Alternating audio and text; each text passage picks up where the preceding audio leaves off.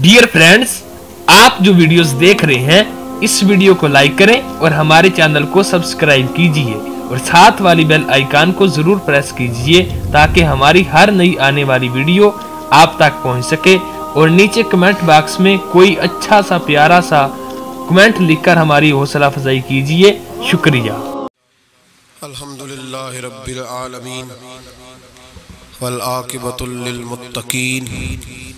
लिल मुत्तकीन वस्सलातु वस्सलामु अला अशरफिल अंबिया वल मुरसलीन अम्मा बाद आऊज़ु बिल्लाहि मिनश शैतानिर रजीम बिस्मिल्लाहिर रहमानिर रहीम व इज़ा कील लहुम आमिनू कमा आमनन नासु कालू अनुमिनु कमा आमन सुफहा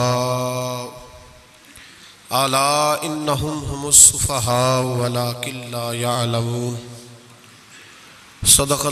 अज़ीम व सदक़ रसूलुहुन नबियुल करीम।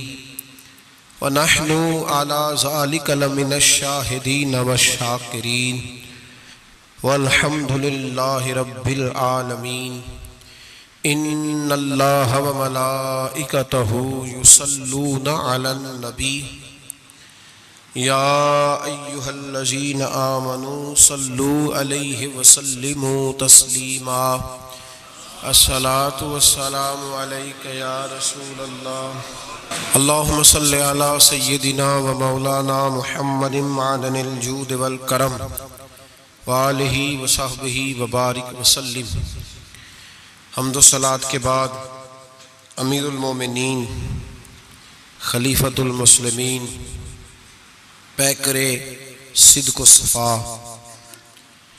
आबरूव अहल वफा।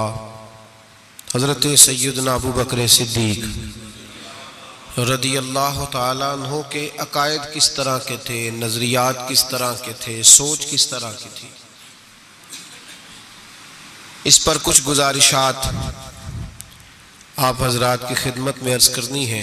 दुआ फरमाए, अल्लाह हक बात कहने की तोफ़ी अता फरमाए।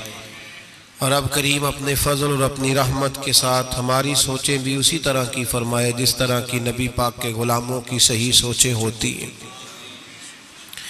कुरान मजीद फ़ुरकान हमीद सूरह बकरा की आयत नंबर तेरह। ये आयात मुनाफिकीन के बारे में नाजुल हुई, जो कहा करते थे वमिनन्नास वामन बिल्लाहि व बिलयौमिल आखिरी व माहुम बिमुमिनीन। जो कहते थे, थे कि हम अल्लाह और आखरत पर ईमान लाए हैं लेकिन अल्लाह फरमाते हैं वो ईमान वाले नहीं थे। ये ईमान नहीं लाए। उनको फिर अल्लाह पाक ने एक हुक्म दिया। रब करीम ने फरमाया उनकी एक अलामत अल्लाह ने बयान फरमाई। फरमाया वाइजा की लहुम आमिनू कमा अमन अन्नास। जब इनसे कहा जाए कि इस तरह ईमान लाओ जिस तरह दूसरे लोग, यानी जिस तरह सयाबा ईमान लाए। जब मुनाफिकीन से ये कहा जाए कि उस तरह ईमान लाओ जिस तरह सयाबा ईमान लाए। कालू कहते हैं, अनुमिनु कमामन सुफहा। क्या हम इस तरह ईमान लाए जैसे ये बेवकूफ़ ईमान लाए? माजल्ला वो कहते हैं क्या इस तरह ईमान ले आए, जिस तरह ये बेवकूफ़ ईमान ले आए। आला, खबरदार इन सुफहा। अल्लाह फरमाता है, खबरदार हो जाओ, यही असल में बेवकूफ़ है। वला किल्ला यालमून, लेकिन इन्हें इस बात का इल्म नहीं है। वो कहा करते थे कि ये तो बेवकूफ़ हैं। ठीक है, नमाज़ पढ़ो, दीन कबूल कर लो, रोज़ा रख लो, हज कर लो, जक़ात दे लो। ये अजीब लोग हैं, सारा कुछ ही कुर्बान कर रहे हैं नबी पाक पे। वो इसको बेवकूफ़ी कहते थे। ये अजीब लोग हैं, औलादें भी कुर्बान कर रहे हैं जिहाद में ले जाके। ये अजीब लोग हैं, हर चीज़ ही लुटा रहे हैं। हम दाना लोग हैं, हम देखभाल के चलते हैं। अल्लाह फरमाते, तुम बेवकूफ़ हो। तुम बेवकूफ़ हो, जिनके सामने मेरे नबी की रहमत का दरिया बह रहा है, जिनके सामने हुजूर के करम की बरखा बरस रही है, लेकिन तुमने फिर भी सारा कुछ बचा के रखा हुआ है। तुम इस सौदे को समझे ही नहीं। यहाँ अगर तुम एक कुर्बान करते, मैं तुम्हें सत्तर सौ गुना अजर अता फरमाता। वो अकल जो आज बहुत सारे मुसलमानों को भी अल्लाह खैर करे आ गई है। कहते ठीक है बेटे, नमाज़ पढ़नी चाहिए, मस्जिद जाना चाहिए। तू तो पक्का ही मौलवी बन गया है। ठीक है जी, मैं भी नमाज़ पढ़ता हूँ, रोजा रखता हूँ, लेकिन ये वाला काम नहीं मुझसे होता कि बंदा सारा कुछ छोड़ छाड़ के मसीतड़ी हो जाए। इस सोच को समझे ये किसकी सोच है? ये किसकी सोच है? अल्लाह फरमाते हैं, ईमान उस तरह का जिस तरह का ईमान अबू बकर सिद्दीक का है। अकीदा उस तरह का जिस तरह का अकीदा फारूक आज़म का है। नजरियात उस तरह के जिस तरह के उस्मान गनी और मौला अली के हैं। उस तरह के अकीदे, उस तरह का ईमान लाओ, उस तरह का। हज़रत अबू बकर सिद्दीक रदी अल्लाह तु के बारे में मेरे नबी पाक अलैहिस्सलाम ने फरमाया, अगर मैं अपनी सारी उम्मत का ईमान तराजू के एक पलड़े में रखूँ, सारी उम्मत का। वली गौस कुतब अबदाल अहले बैत से आबा फरमाया, अगर मैं अपनी सारी उम्मत का ईमान तराजू के एक पलड़े में रखूँ और अकेले अबू बकर का दूसरे पलड़े में रखूँ तो अबू बकर का ईमान फिर भी वजनी निकलेगा। अबू बकर का ईमान फिर भी, जनाब सिद्दीक अकबर के ख्यालात, ईमान की पुख्तगी फिर भी वजनी निकलेगा मेरे अबू बकर का ईमान। और हजूर फरमाते पता है इसका ईमान किस तरह का है? किस तरह का है? हजूर कैसा है? फरमाया, मैंने जिसके सामने भी दीन पेश किया, जिसके सामने भी इस्लाम पेश किया, उसने दलील मांगी मोजा मांगा। अबू बकर के सामने जब मैंने दीन पेश किया तो इसने कोई चीज़ ही नहीं मांगी, फ़ौरन कलमा पढ़ के मुसलमान हो गया। जो देख दाख के आते हैं, वो देख के सौदा लेते हैं। पर मैं इसका बिन देखा सौदा है, इसका ईमान। हमारे यहाँ जो जिसकी लोग, वैसे भी अल्लाह खैर करे, अब सारे स्कॉलर लोगों का जमाना है। कहते हैं, मैं सब की बात सुनूँगा, जी, उधर भी जाऊँगा, इधर भी जाऊँगा, इसे भी देखूँगा। स्कॉलर है ना सारे हजरात। नबी पाक ने तो हज़रत उमर को मना कर दिया था कि तूने तो रात नहीं पढ़नी। हज़रत फारूक आज़म यहाँ लोग यूट्यूब खोलते हैं, कहते हैं, ये मुस्बत बात है, अब जिसने मनफी की है, उसकी भी जरा सुन लें। मैं अक्सर कहता हूँ, मैं कहता हूँ, हमारी कौम को रोज उलझाया जाता है। चार बंदे टाक शो में बिठाए जाते हैं अलहदा अलहदा वो सारे बात करते हैं, नतीजा कोई नहीं निकलता, शो खत्म हो जाता है। जो सुनने वाला वो उलझा ही रहता है, पता नहीं सही कौन है। ये उलझाओ का जमाना है, उलझाओ का। और लोग भी उलझना पसंद करते हैं। हज़रत अबू बकर सिद्दीक का अकीदा यह है कि एक दर फड़िए, मोहकम फड़िए तो एक दे हो के मरिए। ज़रूरत क्या है दाएँ बाएँ जाने? ज़रूरत ही नहीं, एक एक हरफ सज्जन दे ना दा। सानू दिसदा वांग कुरान है। एक एक हरफ सज्जन दे नाम दा सानू दिसदा वांग कुरान है सूरत यार दी वेंदे रहना सब अमलां दी जान है ਤੇ ਹਰ ਦਮ ਯਾਦ ਸੱਜਣ ਵਿੱਚ ਰਹਿਣਾ ਸਾਡਾ ਇਹੋ ਹੀ ਵਿਰਦ ਗਿਆਨ ਹੈ ਉਹ ਸਜਣਾ ਸਾਡਾ ਦੀਨ ਕੀ ਪੁੱਛਣਾ ਸਾਡਾ ਇਹੋ ਹੀ ਦੀਨ ਈਮਾਨ ਹੈ ਸਾਡਾ ਇਹੋ ਹੀ बोलिए साडा ये हुई यही दीन ईमान है जरूरत क्या है हजरत श्री शक्ति रहमतुल्लाह ने बैठे थे दरख्त के नीचे। बाबे बड़े सियाने होते हैं। सियानी बात करते हैं। हिकायतुल्लिया जुनतुम बिन जुनूदिल्ला इनकी बातें अल्लाह के लश्करों में से लश्कर होती। हज़रत सीरी शक्ति दरख्त के नीचे बैठ गए तो दरख्त ने नसीहत कर दी। कहने लगा, बाबा, मेरी तरह का बन जा। मेरी तरह का बन जा। फिर मैं किस तरह का? कहने लगा, मैं खुद धूप में रहता हूँ, दूसरों को छाव फराम करता हूँ। लोग मुझे पत्थर मारते हैं, मैं उन्हें फल देता हूँ। तो आप फरमाने लगे, ठीक है भाई, ये तो तेरी बात सही है, पर तेरी अखीर अच्छी नहीं। है तो बड़ा अच्छा। पर यार जरा बता, तेरी अखीर अच्छी? नींद आ रही है आप लोगों को? अजय तो हूँ पखे चले ने थोड़ी मेहरबानी। चल लें थोड़े जे। पहले ही सोने लग गए आप हज़रत श्री शक्ति क्या कहने लगे? कहने लगे, तेरी अखीर तो मियाँ अगर नाराज़ ना होना बुज़ुर्ग है ना, कहने लगे, नाराज़ ना हो जाना बात तेरी ठीक है, पर अगर तू इतना ही अच्छा है तो फिर जब तू खुश्क हो जाए तो तुझे जला ही दिया जाता है। तेरा आखिर जल जाना है, सड़ जाना है, खाक बन जाना है, वजह। तो कहने लगा, मेरे अंदर खूबियाँ बड़ी हैं, एक खामी है, जिसकी वजह से मेरी अखीर, मेरा अंजाम अच्छा आपने फरमाया, वो क्या? कहने लगा, मेरे अंदर खामी ये है कि जिधर की हवा होती है, मैं भी उधर का ही हो जाता हूँ। लिहाजा मेरा अंजाम अच्छा। जिस, जिधर की हवा होती है, मैं भी एक दर फड़िए, मोहकम फड़िए, ते भाइया एक दे ही होके मरिए। फरमाया, मेरा मसला ये है कि जिधर की हवा मैं भी तो ये अदा मेरे अल्लाह को मेरी पसंद, ये नहीं पसंद उसे मेरी अदा। लिहाजा जब मैं खत्म हो जाता हूँ, फिर जलाया जाता हूँ, तपाया जाता हूँ, खाक हो जाता हूँ। भाई, हज़रत अबू बकर सिद्दीक। रदी अल्लाह तु का तरीका यह है कि उन्होंने कलमा पढ़ा और कलमा पढ़ने से लेकर विशाले जाहिरी तक एक लम्हा भी ऐसा नहीं, जिस वक्त जनाब सिद्दीक अकबर ने दीन ईमान के बारे में नबी पाक से कोई सवाल किया हो। बस जो हजूर ने कह दिया, ठीक है। जो फरमा दिया तो यार सवाल पैदा होते ही है ना, लोग पूछते नहीं। अब्बा जी से नहीं सवाल करते। अब्बा जी से नहीं सवाल करते। यहाँ तो जहाँ अकीदत का रिश्ता होता है, जहाँ बोलना जायज़ नहीं, वहाँ लोग दर्जनों सवाल पूछ लेते हैं। हज़रत अबू बकर सिद्दीक, सवाल कोई नहीं, सवाल कोई नहीं। पानी भरन सोए लिया, रंगा रंग घड़े असी भरिया उसका जानिए जिसका तो हज़रत उमर की अदीस है, और बुखारी की सही रवायत है। आप फरमाते एक मकाम ऐसा आया था कि सारे सहाबा परेशान हो गए और सबके जेनों में सवाल थे। सब के सब परेशान थे। पंद्रह सौ सियाबी हैं। नबी पाक ने खुद एहराम बंधवाए हैं। फरमा एहराम बांधो उमरा करना है। मीकाते मदीना से एहराम बंध गए। सियाबा ने तैयारी कर ली लब्बईक पढ़, पढ़ते हुए हुदैबिया के मकाम पे पहुँच गए। कुरैशे मक्का ने रोक लिया। एक दो चार बंदे नहीं पंद्रह सौ। एहराम किसने बंधवाया? किस लिए बांधा है? बोले ना उमरा करने के लिए। हुदैबिया के मकाम पे जब पहुँचे तो नबी पाक सल्लल्लाहु अलैहि वसल्लम के पास उर्वा बिन मसूद सखफी कुरैशे मक्का का सफीर आ गया। उसने कहा जी साल आप उमरा नहीं कर सकते। आप तो लड़, लड़ाई करने आए हैं। हजूर ने फरमाया नहीं उमरा करने आए देखा नहीं है राम बांधे हुए उसने कहा पंद्रह सौ बंदा है। और हैं भी सारे दलेर, और हैं भी कट मरने को तैयार। अगर किसी एक ने भी नारा लगा दिया तो हमें तो भगा दोगे तुम सारे।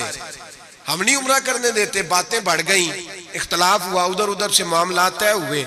सुलह, शर्तों पर सुलह होने लगी और शर्तें भी जाहिरन ऐसी थी कि जो लग रहा था कि मुसलमान दब के सुलह कर रहे हैं। लग रहा था, शर्तें लिखी गई, तय हो गई। उन्होंने कहा जी, ठीक है, इस साल आप वापस चले जाएँ, अगले साल उमरा करने आए। हुजूर ने फरमाया, तवज्जो है मेरी बात पर। यहाँ कोई बंदा कह देना, अब्बा जी कह देना, बेटे खैर हो जाएगी, फलाना काम कर ले, ते बच्चे बाद गल भेजे ने कहते तुसा मैनू आख्या जी कर ले। पीर साहब तो खैर वैसे ही गए ना काम से सिरे से। कहते ने कहता पीर है यदि करामत ही कोई नहीं। वो फैसलाबाद के पास एक बाबा जी की हिकायत मैंने सुनी। बाबा जी की मानने वाली ज़्यादा बीबियाँ थी। बाबा जी मंगल वाले दिन फौत हो गए। उन्हें कहा कदों कामल सी, कामल तो जुमे मरदा। तो ही नहीं चंगा लिया पीर ने। असी नहीं मनना अगो तो अल्लाह वालों की बात बड़ी निराली होती है। बाबा जी उठ के बैठ गए, कहने लगे, चलो, ये केड़ी गल है जुमे मर जाएगा तो तो यहाँ तो लोग मिनट मिनट पे नाराज़ हो जाते हैं ना, मिनट मिनट पे लोग नाराज़ हो जाते हैं। एक तो फौरी तौर पे अब देखे ना, हुजूर ने हराम बंधवाए उमरा करने को कहा अब जब सुलह तय हो गई तो हजूर ने फरमाया, चलो भी टेंट करा दो, सारे कपड़े बदल लो, वापस जाना है. अब सियाबा के जहनों में सवाल है। कि आपने कहा था, चलो उमरा करना है? अब हुजूर फरमा रहे हैं, वापस जाना है, तवाफ करना, ना तवाफ हुआ, ना सही हुई, हमें तो तवाफ के लिए लाया, चलो वापस। पंद्रह सौ आदमी बैठा है। जनाब उमर कहते हैं, जो सबसे पहले उठे वो अबू बकर सिद्दीक थे। जो सबसे पहले उठे वो अबू बकर कोई शक नहीं जेन में, कोई बात नहीं टेंड कराई, कपड़े बदले। फरमाते हैं, फिर धीरे धीरे लोग ना बोझल कदमों से उठे। कहते हैं, बाकी तो जरा ठंडे थे, बोल ना सके, मैं जरा तेज मिजाज था। मुझसे गुस्सा संभाला ना गया मैं हुजूर के खेमे में। तुर्की कपड़े का खेमा नबी पाक ने लगाया हुआ था। जाग रहे हैं आप लोग? बड़ी खास बात है, खास तवज्जो से सुनना। ईमान इस तरह मज़बूत रहता है, अकीदा यूँ बचता है। जरा जरा सी बात पे, जरा जरा, उसका, आज मैंने फलाने स्कॉलर को सुन लिया है तो सूद के बारे में बताओ। आज फला, जनाब मैंने बंदा सुन लिया है, ना आगे का पता, ना पीछे का पता। जिस आदमी को लफ सीधे नहीं पढ़ने आते, वो दिशे बयान कर रहा है टीवी पे बैठ के। आज मैं फलाने की गल सुन ली है हूँ इंश्योरेंस की गल दस छड़ो। ऐसे ही एक मिनट लगाते हो, बिगड़ने के लिए हमसे पूछो। आंधी भी आ जाए तो अल्लाह ईमान की मजबूती अता करता है। ये कैसे हो सकता है? कभी कभी हाशिया ख्याल में ही बात नहीं गुजरी। ये बुज़ुर्गों की नस्बत की बरकत हासिल होती है। ये बुज़ुर्गों की नस्बत की बरकत। और दुआ फरमाए, अल्लाह इस्तकामत ही अता फरमाए। अल्लाह फितनों से माफू सारे आमीन बोले। अल्लाह बचाए इन फितनों से। हज़रत अबू बकर कितना कड़ा वक्त है। फरमाते, अबू बकर सिद्दीक उठे टेंड कराई, आ गए। आहिस्ता आहिस्ता सब उठे। उमर कहते हैं, मुझे बड़ा जलाल था, मैं सीधा हजूर के उजरे में।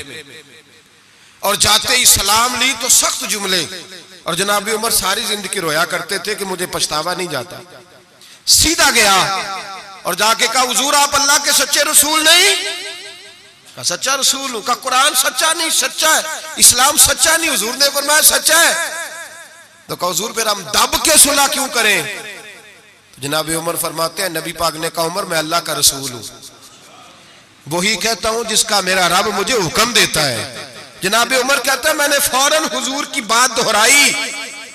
मैंने कहा यार रसुल्ला आपने कहा नहीं था, तवाफ करेंगे, हराम बाँध लो। तो हजूर ने फरमाया, मैंने कहा था, तवाफ करेंगे, ये तो नहीं कहा था, इसी साल ही करेंगे।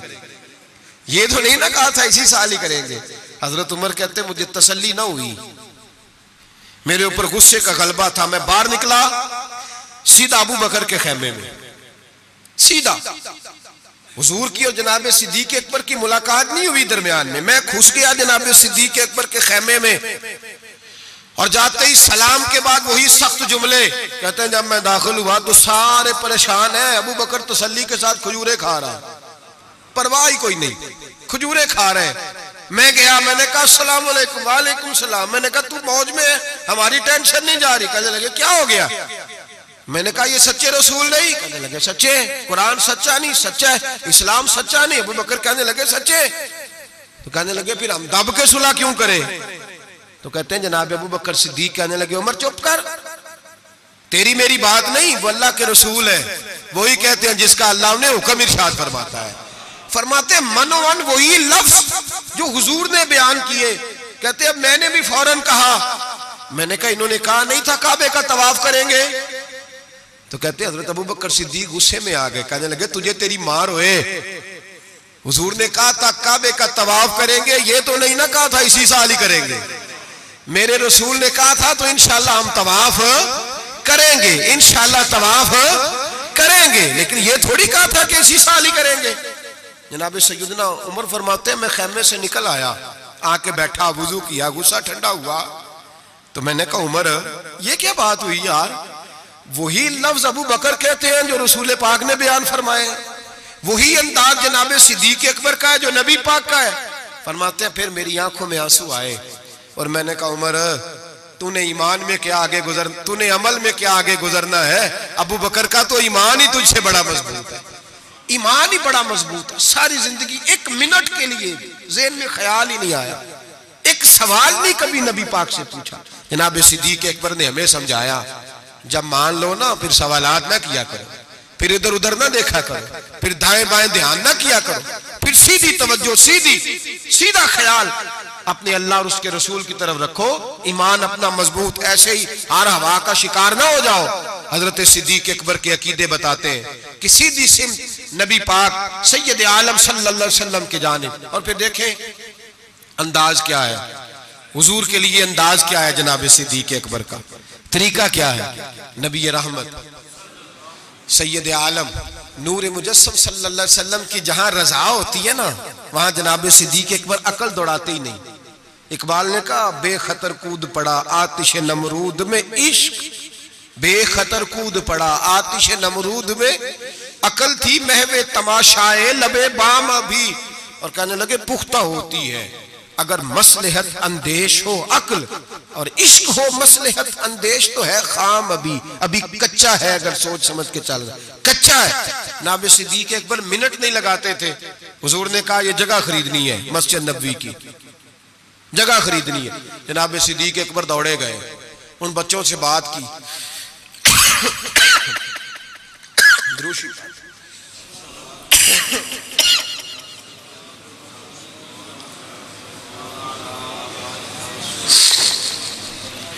जाके उन बच्चों से बात की जिनकी ज़मीन थी। आप ये तो हर किताब में पढ़ेंगे कि खरीद ली। ये ये कहीं नहीं पढ़ेंगे कि सौदा किया। सौदा नहीं किया। ताजर सौदा करता है, बात करता है, गुफ्तगु करता है। नबी पाक ने भी हुक्म दिया है कि तुम बात कर सकते हो, सौदा खरीदते वक्त बहस कर सकते हो। इजाज़त है। लेकिन यहाँ हज़रत अबू बकर सिद्दीक ने कोई बहस, कोई सौदा, कोई गुंजाइश। हजूर ने कहा, खरीदनी है लिहाजा खरीद के आ गए। नबी पाक ने फरमाया, बिलाल हफ्सी को खरीदना है। जाके बात की उमैया बिन खलफ से, का गुलाम बेच दो। अकीदा देखें, गुलाम बेच दो। उसने कहा, काला कुलोटा है, लिखना, पढ़ना नहीं आता, काम करना कोई नहीं आता। तू मुझे क्या देगा? आप फरमाने लगे, मेरे पास गुलाम है, रंग भी गोरा है, पढ़ा लिखा भी बड़ा है।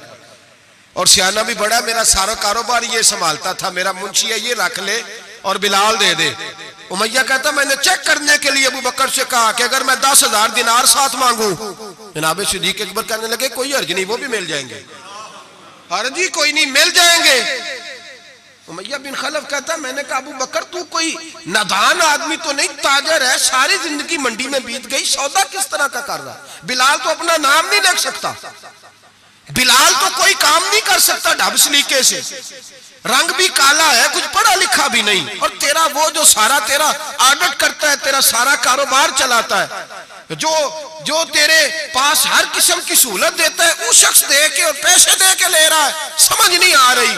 तो जनाब अबू बकर सिद्दीक कहने लगे, तुझे आ भी नहीं सकती, इसलिए कि तू बेईमान है और मैं मोहम्मद अरबी का नौकर हूँ। तेरी समझ में बात आ सकती? इसलिए कि जहाँ मैं खड़ा हूँ, तू भी अभी, तुझे उस जायके का भी पता ही नहीं। तुझे वो लज्जत नहीं, मोहब्बत को समझना है। तो ना से खुद मोहब्बत कर।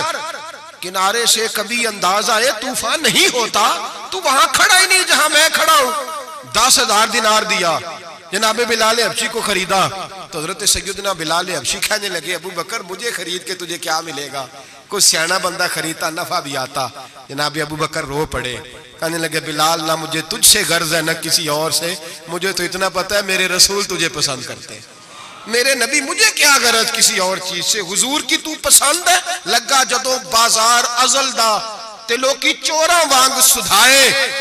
किसी ने लुट ली हुसन जवानी, उन्हें हासे झोली पाए।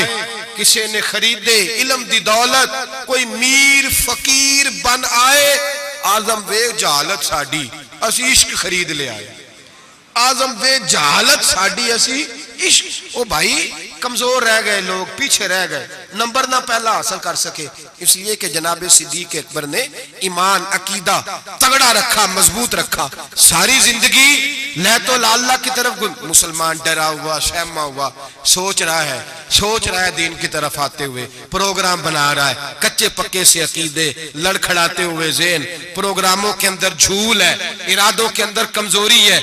कैसे कुर्ब इलाही नसीब होगा? अभी तो फैसला करने में घंटों लगा रहा है। अभी तू बात शुरू करने में टाइम लगा रहा है तो कब तू आगे बढ़ेगा? जनाब सिद्दीक अकबर रदी अल्लाह तला ने लोगों को बतलाया है, मेरा अकीदा देखो और तगड़ा अकीदा नबी पाक के बारे में। तगड़ा, हजूर बैठे हैं मिशका शरीफ की हदीस है। इधर सिद्दीक अकबर बैठ गए, इधर फारूक आज़म बैठ गए। नबी पाक दुआ कर रहे हैं अल्लाह मेरी उम्मत को बख्श दे। आमीन तो कह दे, आपकी बात हो रही है। अल्लाह मेरी उम्मत को बख्श दे। अचानक हजूर के चेहरे पर मुस्कुराहट आई। हजूर ने फरमाया, लो भी, अल्लाह ने वादा कर लिया है कि मेरे सत्तर हज़ार उम्मती बगैर हिसाब किताब जन्नत में जाएँगे। हज़रत अबू बकर फटाफट बोल पड़े, कहने लगे, महबूबा, थोड़े हैं, जरा ज़्यादा कर ले। जरा, किसको कह रहे हैं? जी? तो नबी पाक को कहना चाहिए जाओ उ जाके मुसल्ला पा, तू भी अल्लाह नु आख।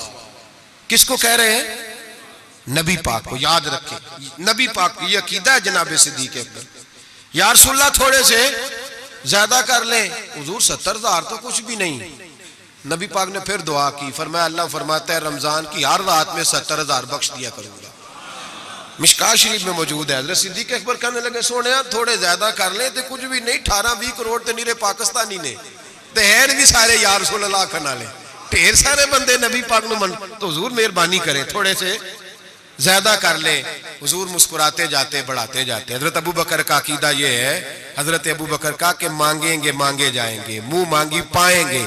सरकार में ना ला है, ना हाजत अगर की है।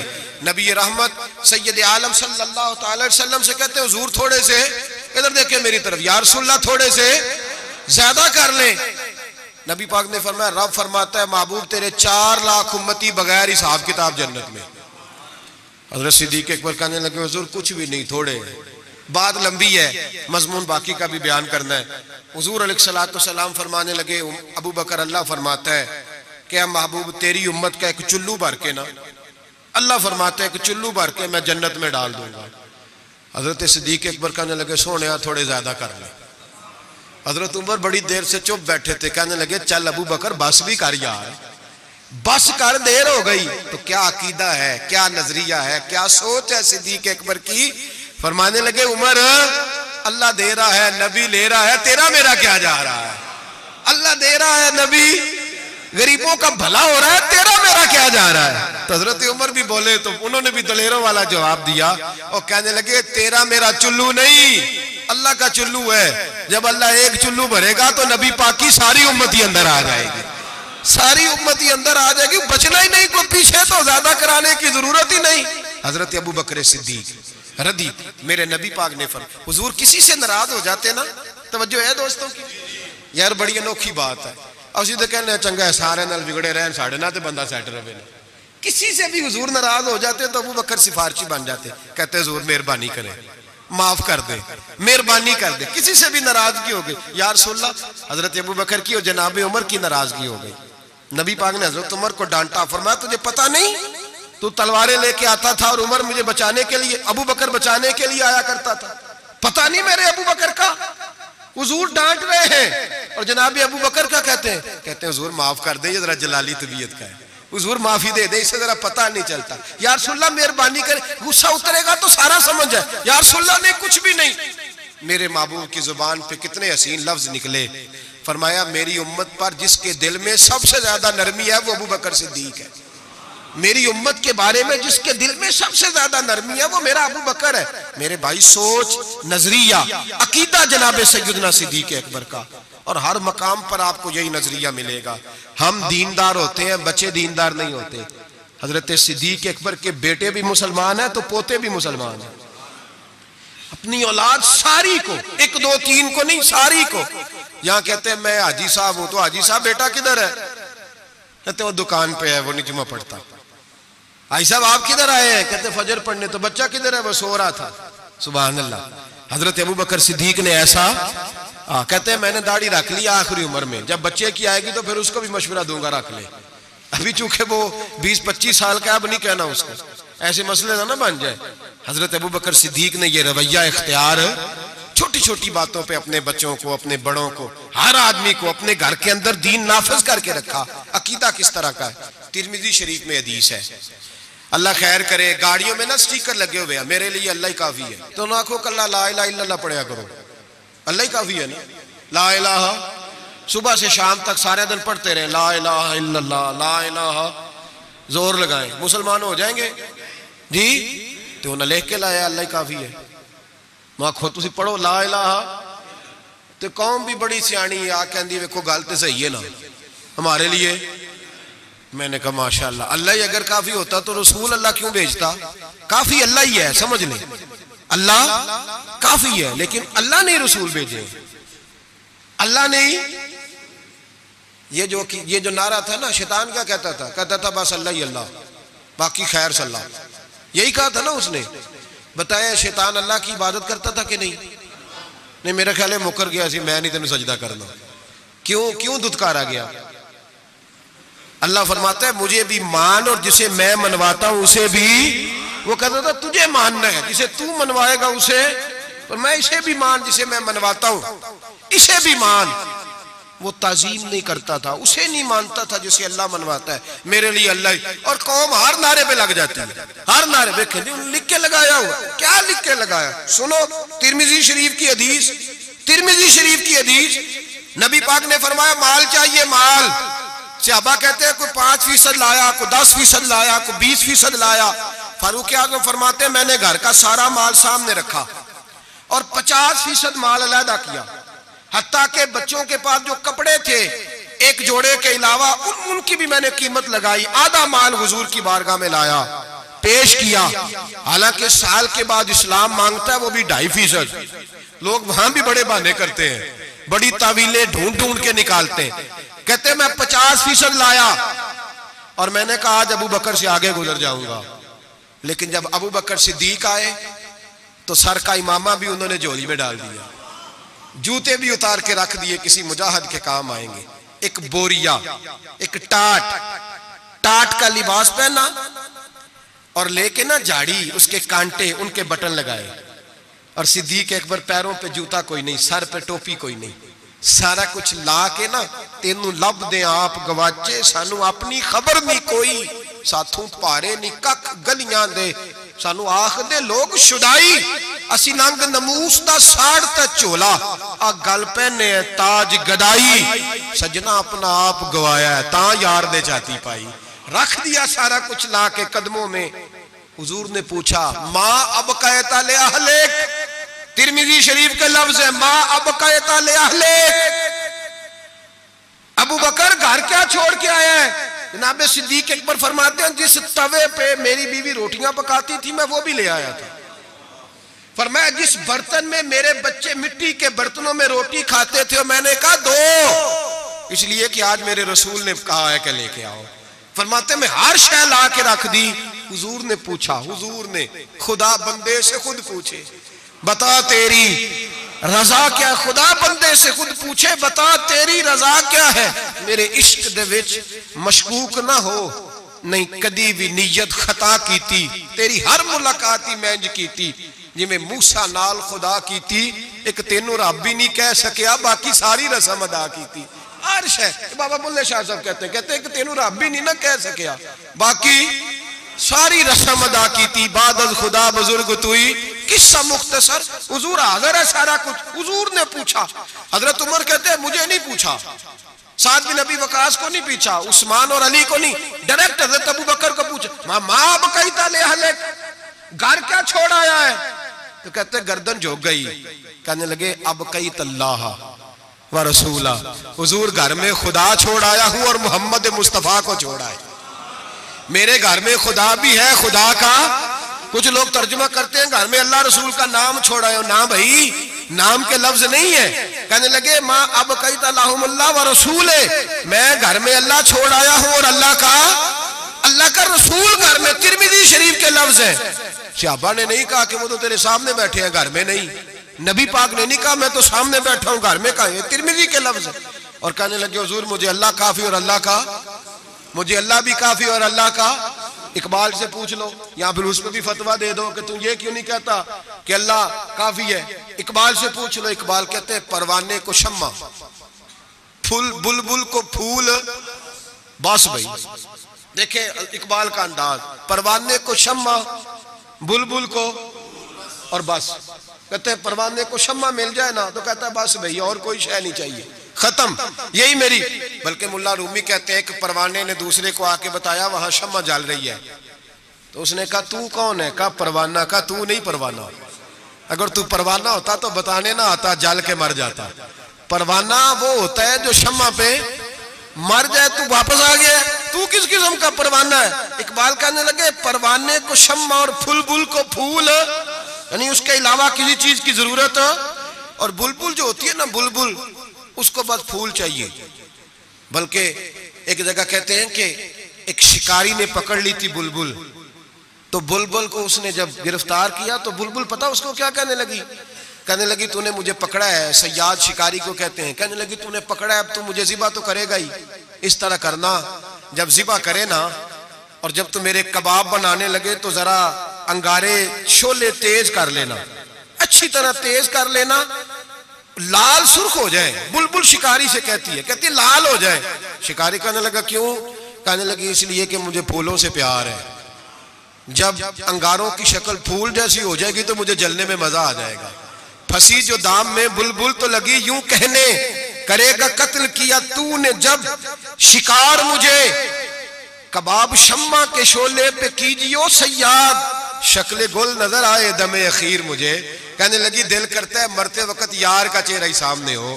फूल ही नज़र आए।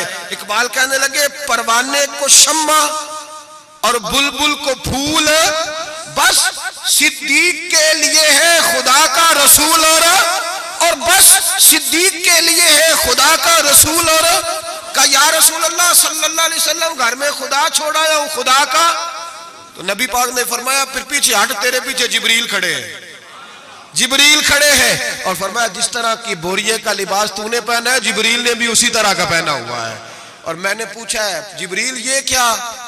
तो हज़रत जबरील कहते हैं, या रसूल अल्लाह आज अबू बकर का लिबास अल्लाह को बड़ा पसंद आया है। रब फरमाता है, सारे फरिश्ते भी उसी तरह का पहनो जैसा अबू बकर ने पहना है। और अल्लाह ने भेजा है, रब, खुदा खुद मीर मजलस बूद, खुदा बंदे से खुद पूछे। अल्लाह फरमाता है, जरा अबू बकर से पूछ के बताओ, मुझसे राज़ी है कि नाराज़ है?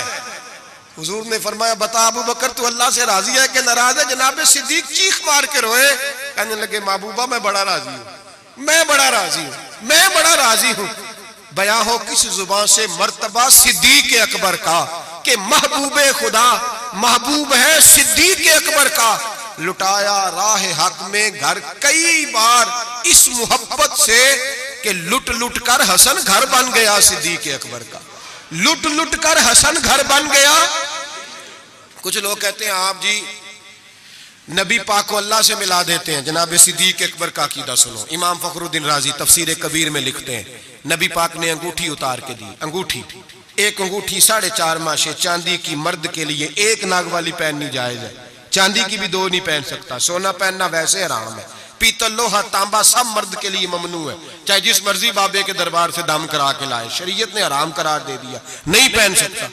नबी पाक अंगूठी पहनते थे। तवज्जो है आप दोस्तों की मेरी बात हुजूर ने कहा, अबू बकर जरा इधर आ। हज़रत अबू बकर सिद्दीक सबसे ज़्यादा पैसे देते थे नबी पाक की बारगाह में। दीन के लिए सबसे ज़्यादा खर्च करते थे। लेकिन दोस्तों, कमाल नहीं, तीन दिन हुजूर के साथ गार में रहे। कभी झाड़ू देते गार को, कभी पैर दबाते, कभी सर मुबारक दबाते, कभी खाना लेके आते, उनकी बच्ची रोटी पहुंचाती। मस्जिद नबी में जिस बंदे ने हुजूर के जमाने में सबसे ज़्यादा झाड़ू दिया, उसका नाम भी अबू बकर सिद्दीक है।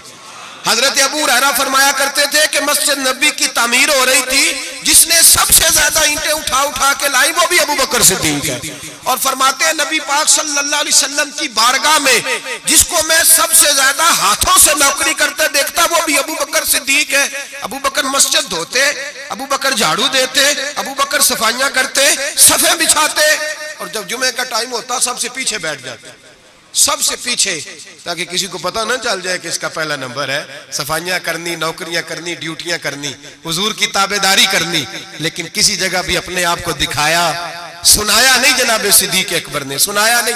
मेरे नबी पाक जब कोई जाती काम बताते थे ना, ये बहुत बड़ी बात करने लगा हूँ। जाती काम बताते थे, अपना जाती तो जनाब सिद्दीक अकबर को बताते थे। इधर अबू बकर, आए का जा दौड़ के मेरी अंगूठी पर नाम लिखवा के लाओ। जनाब सिद्दीक अकबर को हुजूर जाती काम बताते। और भाई, वो काम जो बच्चों को, आम लोगों को, गरीबों को बताया जाते। अबू बकर इधर आ।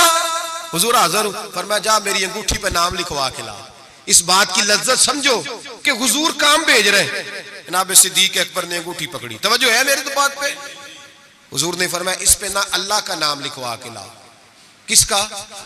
सिर्फ़ अल्लाह का। हुजूर ने भेजा। अकीदा देखें। अल्लाह काफ़ी है, इसमें शक, लेकिन जिसे अल्लाह मनवाए, उसे भी मानना पड़ेगा। फरमाया, जा अल्लाह का नाम लिखवा के ला। हज़रत अबू बकर सिद्दीक कहते मैं अंगूठी लेके गया। मुसवर को कहा, अल्लाह का नाम लिख दे। कहते अचानक मेरे दिल में ख्याल आया, सिर्फ़ अल्लाह का नाम। हुजूर का हुक्म क्या है? कहते मेरे दिल में ख्याल आया, सिर्फ़ अल्लाह का नाम। कहते मैंने उसको कहा निरा, अल्लाह का नाम ना लिखना, साथ मेरे मुस्तफ़ा का भी लिख दो। सिर्फ़ अल्लाह का ना लिखना, हजूर का भी लिखो। नबी पाक का हुक्म कितना है? अल्लाह का। का साथ मेरे? नबी पाक का भी लिखो। हज़रत अबू बकर ने दो नाम लिखवाए, फरमाते, मैं जब तक मस्जिद नबी आया, नाम दो थे। सारे रस्ते में देखते आया, अल्लाह और मोहम्मद दो नाम थे। जब मस्जिद नबी में अंगूठी ला के हुजूर को पेश की ना तो हजूर ने फरमाया, इधर आना। मैं करीब आया, फरमाया, तुझे कहा था सिर्फ़ अल्लाह का नाम लिखवाना? तू तीन लिखवा लाया है। कहा, हुजूर, ये तीसरा कहाँ से आ गया है? तो दो ही लिखवाए थे। और मैं तीन है। ये देख, अल्लाह मोहम्मद और अबू बकर। तो तीन नाम लिखे। जनाब सिद्दीक अकबर कहने लगे, हुजूर, कसम, अल्लाह की इज़्ज़त की, आपका मैंने लिखवाया, अपना नहीं लिखवाया। इमाम राज़ी की तफसीर कबीर, आपका लिखवाया, अपना नहीं लिखवाया। अचानक हुजूर मुस्कुराने लगे। हज़रत सिद्दीक अकबर का माथा चूमा, सीने से लगा लिया। नबी पाक की आँखों में आँसू, मोहब्बत के आँसू। हुजूर, क्या हुआ? फरमाया, जिबरील आ गए हैं। और आके कहते हैं, या रसूल अल्लाह रब फरमाता है, अबू बकर ने गवारा नहीं किया कि आपका नाम मेरे नाम से जुदा हो, और अल्लाह ने गवारा नहीं किया कि आपके नाम से अबू बकर का नाम जुदा हो। ये अल्लाह ने गवारा नहीं किया, अल्लाह ने गवारा नहीं किया। या रसूल अल्लाह रब फरमाता है, आपका नाम अबू बकर ने लिखवाया है, और अबू बकर का नाम उसके रब ने लिखवा दिया है। ये अकीदा है जनाब सिद्दीक अकबर का ये अकीदा है जनाब सिद्दीक अकबर का कि हम नबी पाक के नाम से अल्लाह का नाम और अल्लाह के नाम से नबी पाक का नाम जुदा कर सकते, खुदा का ज़िक्र करे, ज़िक्र मुस्तफ़ा न करे। हमारे मुँह में हो ऐसी जुबा खुदा ना करे। जनाब सिद्दीक अकबर ने अकीदा दिया कि मेरे लिए अल्लाह और अल्लाह का रसूल सिद्दीक के लिए है, खुदा का रसूल और बस याद रखें ये नजरियात, ये अफकार हमें हज़रत अबू बकर सिद्दीक देते हैं, जनाब सिद्दीक अकबर हमें ये नज़रिया देते हैं। सुने। पहले दलाल सुन लें। ये हदीस जो अब अर्ज़ करने लगा हूँ। आपने सुनी हुई है, बड़ी मारूफ है, लेकिन अकीदे से ताल्लुक रखती है, अर्ज़ करना मजमून के लिहाज से ज़रूरी है। इसको इमाम राज़ी ने तफसीर कबीर में लिखा, हदीस की बड़ी मोतबर किताब है। तमाम मसालक के यहाँ मुसलमानों के मकातब फ़िक्र उसको पढ़ते कंजुल उम्माल। उसके अंदर हदीस मौजूद है। जामुल बयान के अंदर मौजूद है। मौलाना अशरफ अली थानवी ने भी अपनी किताब में लिखी। और इसके साथ साथ अलामा यूसुफ नबानी रहमान ने भी इसको लिखा है। हज़रत सिद्दीक अकबर का विशाल होने लगा है। तवज्जो है आप दोस्तों की। विशाल का वक्त आया तो फरमाया, मुझे गुसल देना, कफन देना, कबर ना खोदना। रिवाज क्या है? जब किसी का इंतकाल होता है तो क्या करते हैं? कहते कबर खोदो। फिर जनादा कहा मेरे गुसल कफन करना पर कब्र। जनाब क्यों? फरमाया, जब मेरा इंतकाल हो जाए ना गुसल कफन करना, जनाजा भी पढ़ना। और बयान किसको कर रहे हैं? मौला अली शेर खुदा को। वसीयत किसको हो रही है? हज़रत अली को। फरमाया, अली, तेरी ज़िम्मेदारी है। जब मेरा विशाल हो जाए ना तो जनाजा पढ़ के ना तो मुझे हुजूर के दरवाजे पे ले जाना। और फिर अपना कमाल नहीं सुनाया कि मैंने बड़ी ताबेदारी किया देखना फिर बनता क्या, ये नहीं बताया। ये नहीं, आजजी अपनी जगह पर इनके सारी वही है। अपने आप को समझा, वही आजजी है। का ले जाना, दरे रसूल पे रखना। और कहना, हजूर अबू बकर हाजर है। अगर खुद ब खुद दरवाज़ा खुल जाए तो अंदर दफन करना कब्र खोद के। और अगर दरवाज़ा ना ना खुले तो कोई मेरा कमाल नहीं, कोई मेरा कमाल नहीं। इसमें कोई मेरी मेरी शर्मिंदगी नहीं। मैं अपने आप को ये नहीं समझूँगा कि मुझे को मसला बन गया। आराम से उठाना और जन्नतुल बकी में ले जाना। इसलिए कि मुझे अपनी नौकरी पर कोई दावा नहीं। कोई दावा नहीं। मैं खादम हूँ, खादम ही अच्छा हूँ। ले जाना। दावा कोई नहीं किया, फजीलत नहीं बयान की। हज़रत अली शेर खुदा। ये तमाम सियाबा का मुतफिका अकीदा सुने। हज़रत अली शेर खुदा कहते गुसल दिया, कफन दिया। और मदीने में जो रोते हुए आज लोगों को देखा, जो हज़रत अबू बकर के साथ प्यार लोगों का आज देखा, फरमाते, आज पता चला, इमाम मोहम्मद बिन अब्बल ने कहा था, पता तो तब चलेगा ना जब जनाजे उठेंगे। पता तो तब चलेगा ना जब जनाजे उठेंगे। जनाजे उठेंगे, मेरे मरने पे हर सुशोर मच जाएगा, देखोगे, कहने, अलविदा सरकार खुद तशरीफ़ लाएँगे। का पता तो तब चलेगा जब जनाजे उठेंगे। हज़रत सिद्दीक अकबर का जनाजा उठा तो लोगों को पता चला, हाल क्या है? फरमाते हैं, जनाजा पढ़ के दरे रसूल पे ले गए। हुजूर की कब्र अतहर के सामने रख के हज़रत अली ने बात की। किसने? बोल के बताइए, मौला, हज़रत अली का ज़िक्र करना भी इबादत है। मौला अली ने किसने बात की? लोग कहते हो, ओ यहाँ बातें ना करो, सलाम करो, गुजर जाओ। मवाजे पे फकत सलाम फकत सलाम। हज़रत अली ने बात की और खड़े होके बात की और जनाब अली की दाढ़ी आंसुओं से भरी हुई है। कहते हुजूर अबू बकर हाजिर है। अबू बकर हाजिर है। हुजूर अबू बकर हाजिर है। इससे ज़्यादा लफ्ज कोई नहीं। हज़रत अली फरमाते, मैं आगे था, बाकी सारे पीछे थे। और सबसे पीछे जनाजा था, हुजूर अबू बकर हाजिर है। फरमाते, खुद ब खुद दरवाज़ा खुला। खुद ब खुद, तू ज़िंदा है वल्ला तू ज़िंदा है वल्ला मेरी चश्मे आलम से छुप जाने वाले खुद ब खुद जनाजा खुला दरवाज़ा खुला। और फरमाया हमें तो उन्होंने कहा था ना दरवाज़ा खाली खोल जाए तो दफन कर देना अंदर से आवाज़ भी आने लगी। अदखुल हबीब हबीब। देर ना करो महबूब को महबूब के साथ मिला दो। देर ना करो जल्दी मिलाओ। फरमाते कबर खोदने लगे तो दो मिनटों में कबर भी निकल आई। ऐसे फटाफटी। जनाब सिद्दीक अकबर को दफन किया। ओ भाई सुन लो सुन लो। दुनिया की दोस्तियाँ कच्ची। कब्र तक। मेरे रसूल का जराना पक्का। कब मेरे महबूब का दोस्ताना कब्र में भी अशर में भी मैदान में भी हर जगह हर जगह। जेडे कहते सी मरांगे नाल तेरे। अज उन्होंने भी बाजियाँ।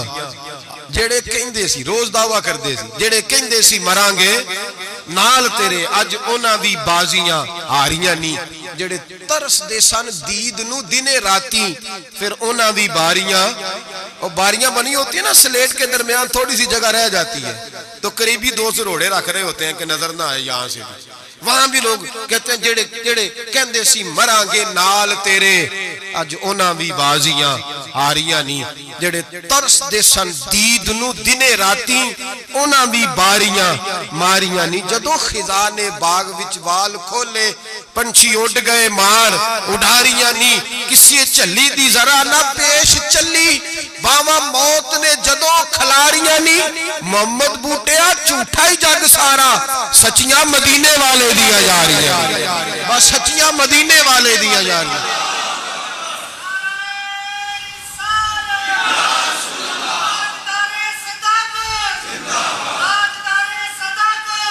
हज़रत अबू बकर सिद्दीक। हज़रत अबू बकर सिद्दीक। हज़रत अबू बकर सिद्दीक ने अकीदा दिया उम्मत को कि हुजूर के रोज़े पे जाओ तो जो तुम अर्ज़ करो ना, हुजूर वो सुनते हैं। जो बात कहो, नबी पाक वो सुनते हैं, तू ज़िंदा है वल्ला तू ज़िंदा है वल्ला मेरी चश्मे आलम से चुप जाओ अबू बकर सिद्दीक ने यह भी बताया कि कब्रों के पास फैज होता है। इसीलिए तो मैं नबी पाक वसल्लम के रोज़े के करीब दफन होने की ख्वाहिश कर रहा हूँ।